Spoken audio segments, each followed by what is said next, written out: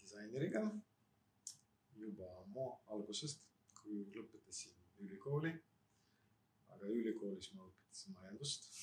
see on, elu läks huvitavamaks. vot ja juba ma arvestasin rohkem kui kolmteist aastat, ma juba praktikat teinud fotograafias. ja lõpus, see on teine minu näitus. Suur samm minu meelest. jah, see oli pikk tee, et ühel suvel ma, ma olen teadnud ühte huvitavat kohta ja tahtsin seal pildistada. võtsin modelli, käisime, tegime pilti ja need pildid mulle nii ei meeldinud, et ma mõtlesin, et vaja sellest ühes sessioonis teha lugu. aga suvi juba läbi ma ootasin terve aasta, oli aega mõelda, mis ma tahan näidata, kuidas ja mis kohast. ja kahekümne esimesel aastal tegime teine ports, kus pildistasime juba edasi. ja kaks aastat oli nagu pildistamine ja lõpus tuli seire, kus ma mõtlesin näidata, kuidas inimene on üksi ja meie maailmas, ütleme niimoodi.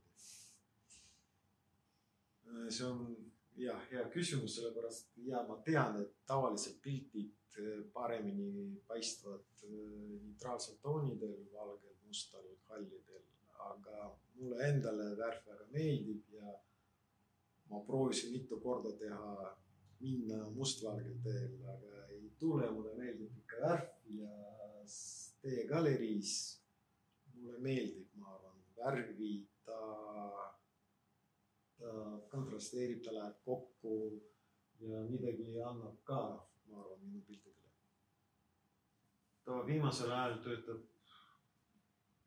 nii ja naa ka, et mõned asjad tulevad, et ma näen huvitav pilti, keegi tundlikku ja tahaks ka proovida samas teha, et vaatan, kuidas tehtud, kus valgus, kuidas poosid, nii edasi, aga mul mitte ühte pildi ei tulnud sama.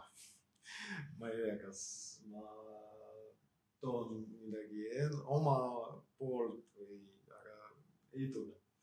aga teised pildid tulevad mingi ideest või suhtlemist või idee tuleb suhtlemist ja ta kasvab ja kuhu ta tuleb, kuhu ta kasvab, keegi ei tea.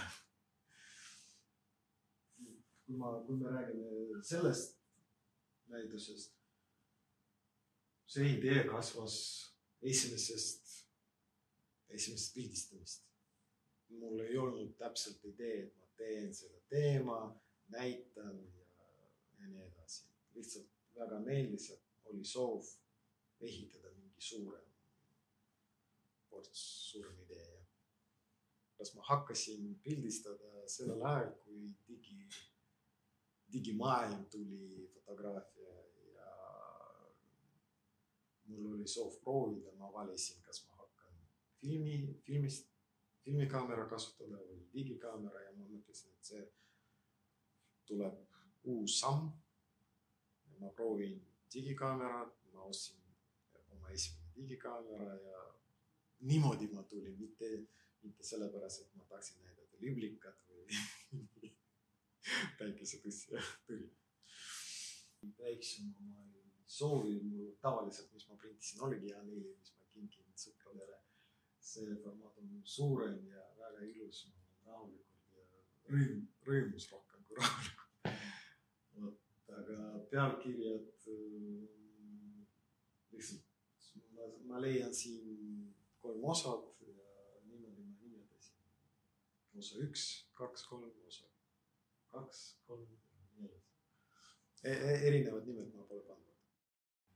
Leibovitš, Lindberg, kõik, mis on fototööstuses väga tundlikud. aga Eestis mulle meeldib väga Vivian Ainsalu, Nikolai Volkov ja jälgin ka Antoni Noažalovi, ta on hea sõber. see on suur küsimus, ma arvan, kui noored tulevad kuskile huvikooli, siis seal on ka omad pinnad või koolis, tavakoolis, huvikoolis, raamatukogus. seal on omad pinnad, kus nad saavad näidata oma tööd. kui inimene on kasvanud ja õppinud kuskil EKA-s või teises ülikoolis, siis need seal on ka nendel on omad pinnad. Aga suure tänu teile, et tavalised inimesed tänaval saavad ka näidata ennast.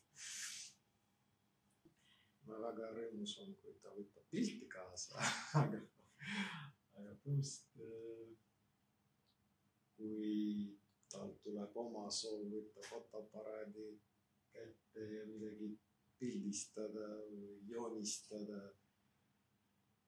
või lihtsalt on nii palju võimalusi ennast välja tuua, ütleme niimoodi jah, on õigesti.